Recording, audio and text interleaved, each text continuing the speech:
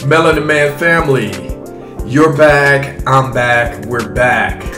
Thanks for joining me and continuing with me on the Furlough to Freedom series. Now, this series follows my journey from working and being burnt out in corporate America to moving into a life of health, peace, and freedom. Don't you like how that sounds? Today, we're going to dive into how embracing minimalism became one of the keys to my early retirement journey and my life abroad adventure. So, why don't you come along with me? Welcome to Melanin Man Travels, your passport to freedom, fulfillment, and financial independence awaits you. We're breaking barriers, building legacies, one journey at a time. Are you ready to level up your life and write your own global success story? Let's go. I didn't introduce myself. I'm Kevin, and this is Melanin Man Travels. Since you're watching this video, I have to assume that you're looking for something different. You want to make some changes in your current life to create a better one? If this is the case, I'm about to challenge some of the things you thought you knew about what you need to live a fulfilling life. Before we get into minimalism, what do I mean by retirement? I have a unique and specific definition. You will need to ask yourself the same question. For me, retirement means I don't have to work for my current employer anymore. It means I don't have to work at the same level that I've been working at for years. It means I can choose to work again if, when, where, and for how long. Retirement means freedom to choose. What is minimalism? It's not about living with nothing, it's about living with intention. It's about keeping what adds value to your life and getting rid of the rest of it. It's about rediscovering yourself and creating a new and improved you. Now, when it came to retiring early and moving abroad, minimalism wasn't just a helpful element, it was the game changer. So let me break it down for you. The average person spends years accumulating stuff, thinking it'll make them happy. I did the same thing. A new car, a big house, more clothes, then a newer car, a bigger and fancier house, and more expensive clothes. But here is the truth bomb stuff doesn't make you any happier. It creates bills, stress, and a pair of golden handcuffs that keeps you chained to a job that you probably don't even like. By adopting a minimalist lifestyle, you're not just decluttering your space, you are decluttering your entire life the physical and the mental. I'm going to talk about it in general and then how it specifically looks in my life. So here we go. One, you reduce expenses by reducing things. Less stuff means lower bills. No more storage units filled with stuff that you don't even use. You have less house that you have to heat and cool with cheaper rent or mortgage payment. You have fewer things that you need to insure and maintain, like a brand new luxury vehicle. Two, you increase your savings and investments. With lower expenses, you can supercharge your savings and your investing strategy and rate.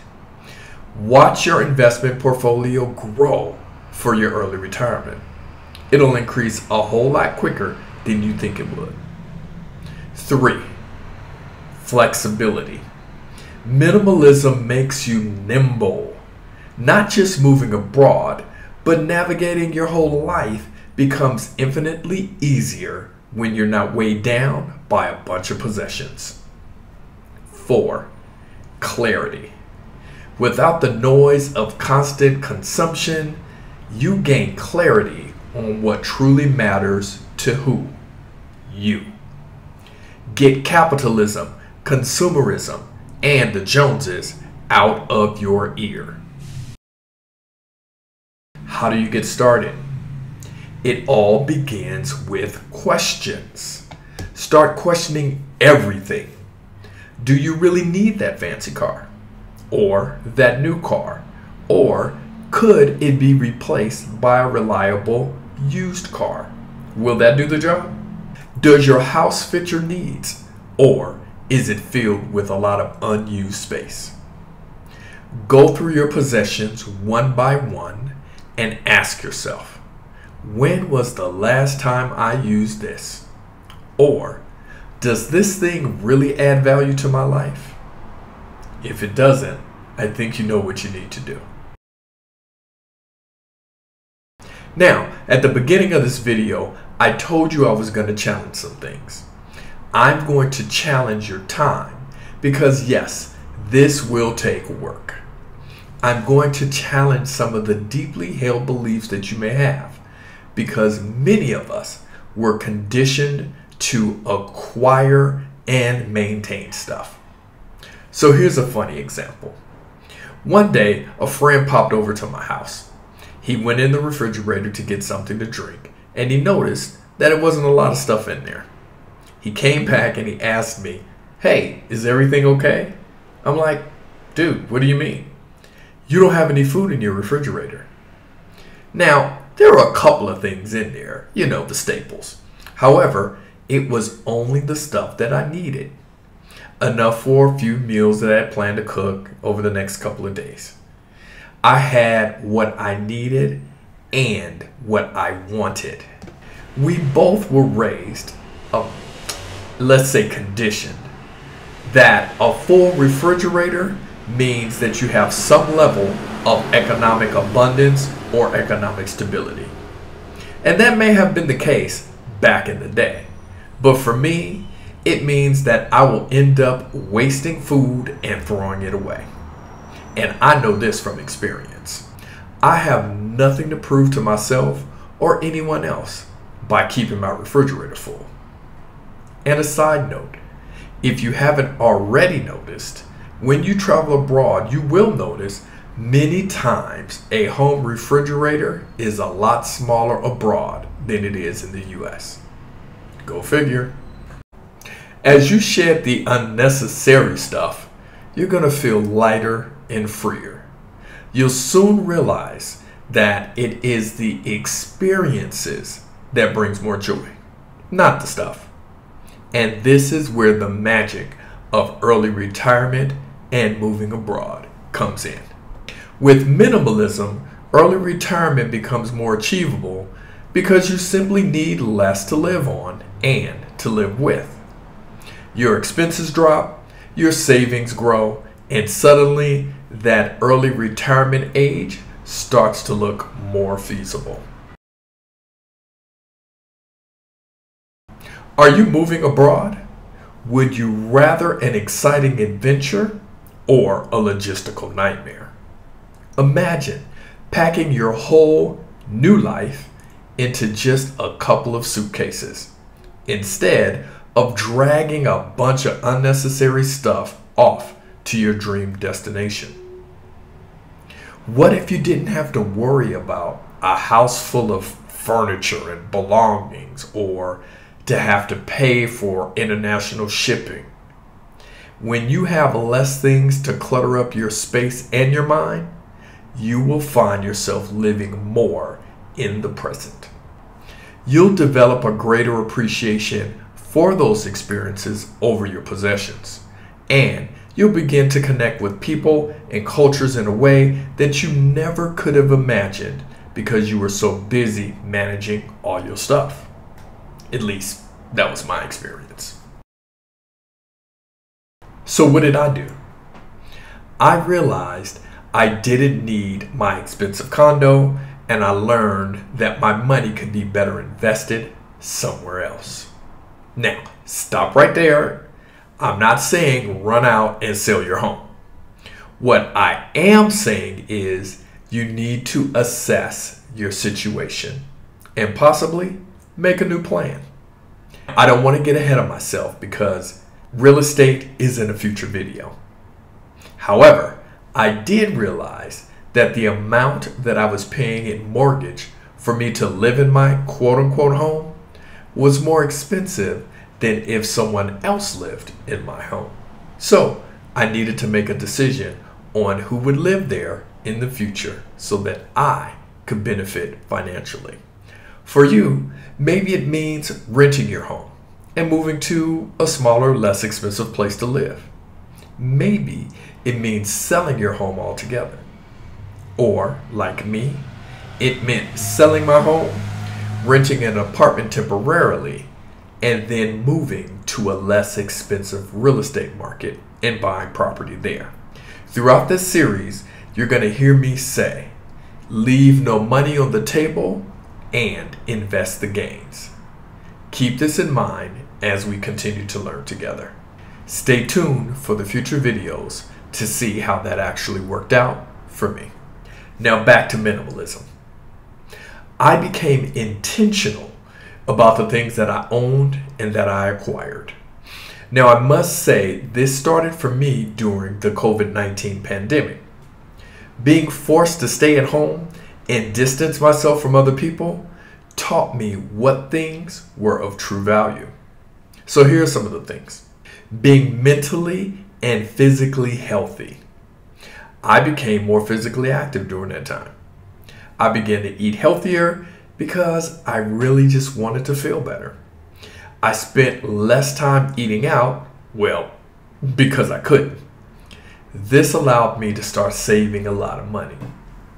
And there's nothing like the feeling of seeing your accounts grow. I started taking long walks and longer bike rides.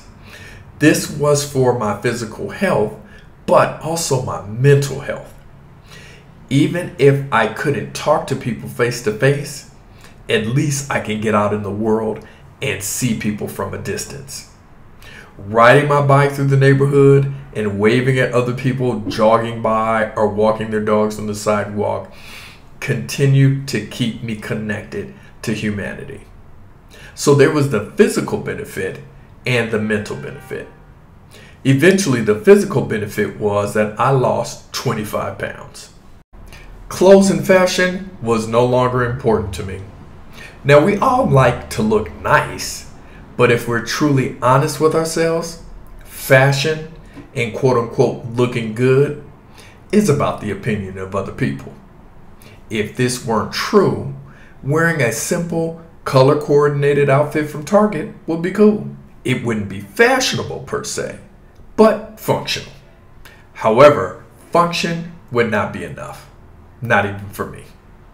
This practical thinking made me face the realities of how much of my time and money I was investing in looking good for other people or fishing for compliments and validation.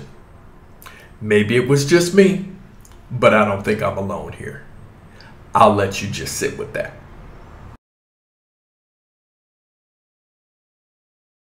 For years, I wanted to drive a luxury vehicle. In the exception of two cars, all of my vehicle choices had been pretty practical. My last vehicle purchase was a mix of performance and practicality. At the end of 2014, I wanted a new car. I wanted a nice car. I wanted a luxury performance machine.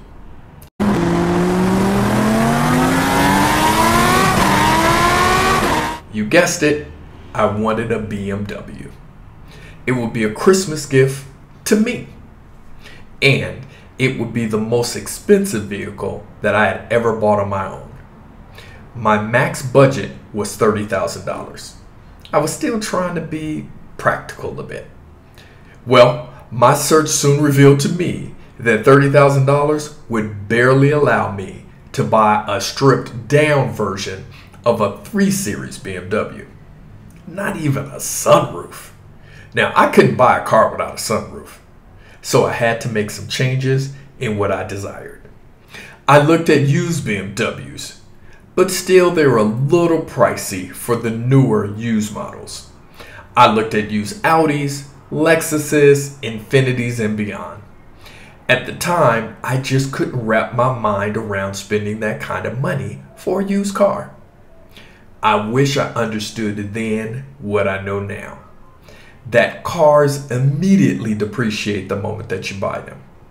But you live and you learn.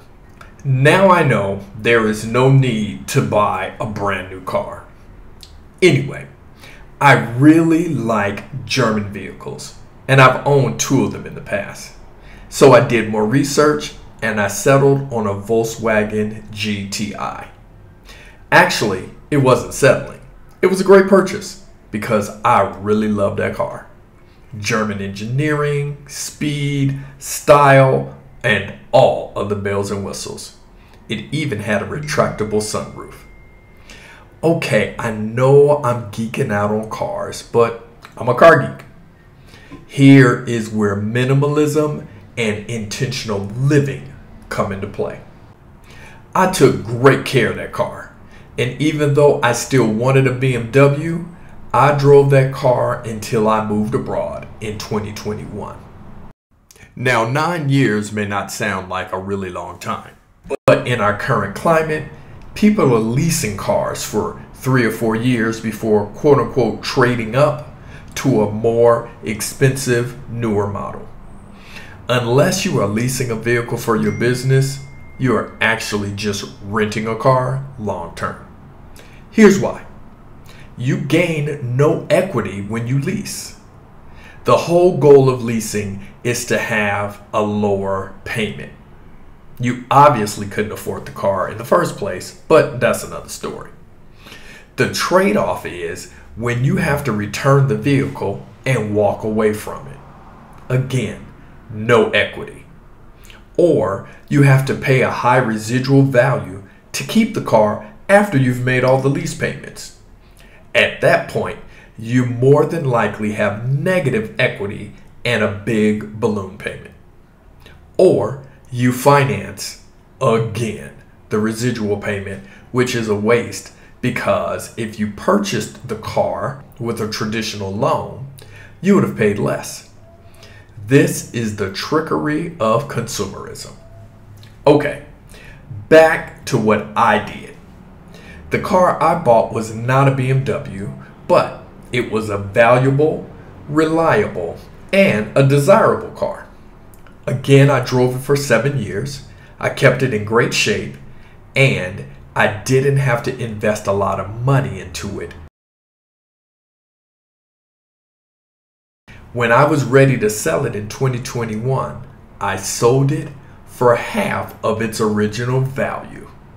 So let's put this into perspective. And I'll give you a lesson in car finance at the same time. I bought the car for $28,000. I financed it through my credit union at about 4%. Not too bad. When I went to the dealership to handle the paperwork, they, of course, wanted to earn the interest on the vehicle as well, so they offered me a lower rate at 2.9%. I gladly took their offer and I drove off with the car. When I returned to my credit union to inform them that I had taken the dealer's finance offer, they wanted to keep my business too. So they asked if I had already purchased the car and if I had it with me. I told them I did, then they told me that they could quote unquote refinance my used car at 1.9%. My car was considered used because I had already purchased it and I financed it through someone else. So they could finance it as a new used car. So it was a win win win situation. I ended up with a five year car loan with a payment of about $570 a month. In total, I paid around $35,000 at the end. I drove the car for another two years without a payment. If I was leasing a car, I would have been in my third year of a second lease term. I understood my car was not new. However, Volkswagen doesn't change their body styles often, so my car still looked new, and most people thought it was the newest model. So I drove my car without a $570 payment for two years.